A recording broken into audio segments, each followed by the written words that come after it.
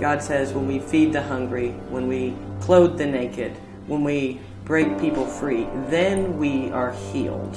When we go to the jails, when we open up this home to anybody that needs a place to come in and be accepted for who they are today, then we are healed because then we are encountering truly the face of Christ.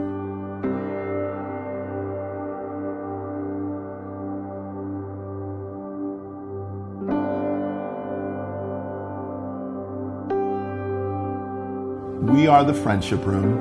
I think the, the way I like to describe it best for people to understand is that really we treat this as our home. You know, people are welcome to come into our home. We literally take them where they're at. A lot of times people give us a long story what they need and why and stuff, and I, say, I just stop and I say, Are you hungry? If you're hungry, we got food for you, we offer it to them.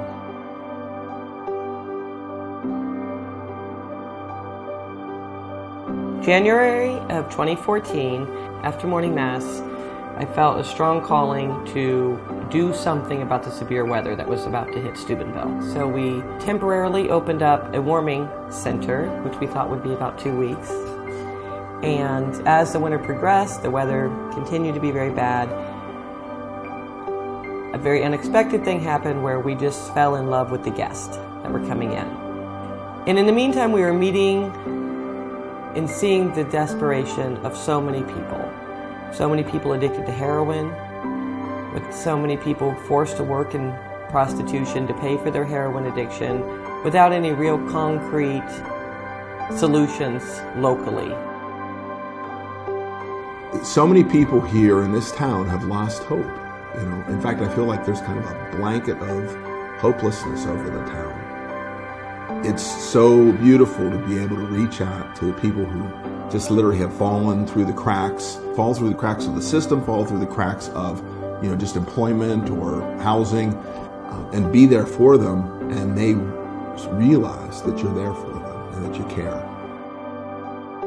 The whole ministry is built more on relationships than transactions. We don't just give things away, we try to build relationships with people to really try to get to the root causes of where they're at. We do that, basically built the whole ministry on Matthew 25, where our Lord is telling us and commanding us to love, to shelter, to clothe people, visit the imprisoned, to visit the sick, to bury the dead.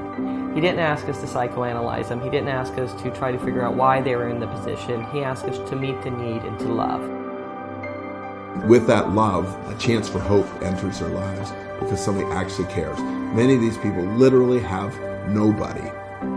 We literally are like a breath of fresh air and love in a lot of these people's lives. We don't need to go to a foreign country to do that. We don't need to go any place other than, as Mother Teresa said, to find our own Calcutta and to realize that really every community has their own Calcutta because it's really who we all are. It's not on our merit that those things haven't happened to us. That that could be us. That could be any one of us.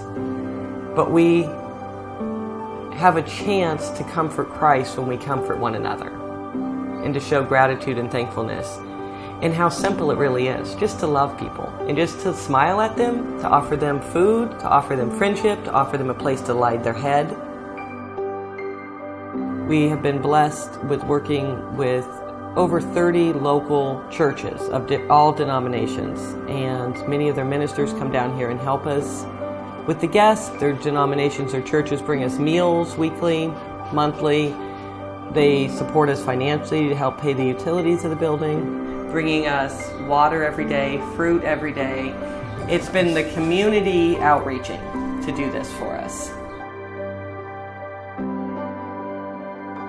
They're damn good people, I tell you that. I come here, uh, get my clothes washed, I get uh, all the food I want to eat, uh, or whatever I need. Somebody asked me, like, well, why do you do it? And uh, I have a real simple answer now because I can. Because I can love. God's given me this capacity to love. What else would I want to do but, but love?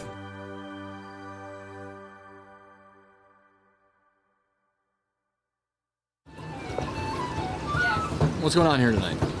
I have no idea. Somebody picks up a guitar and they start strumming it. Somebody else picks up a fiddle and they start whatever they do with a fiddle. And then they start, somebody brings a drum and they start banging on it. They decide to get together and play on one song on it, Let's make some music. Why? Why? To have fun, to live, to, to show life to the community down here. Um, actually, I think life is the big thing. It's not desperation, it's enjoying of life. It's beauty. Beauty in sound and beauty in friendship. How does that fit in with your mission at uh, I don't French- know. Friendship Room? to bring hope to people who have lost hope, to the hopeless of this city. That's the truth. And uh, there's so many different ways to do it, but you have to be willing to, to reach out and try. And this is a very beautiful way to do it. And it's amazing. You never know what's going to affect who and what when you're reaching there. You think you do something great and it helps them, but sometimes you do something simple and it blows them away. So, uh, about hope. There's a lots of hope in this town. That's the straight up truth. And uh, love is the best way to give people hope.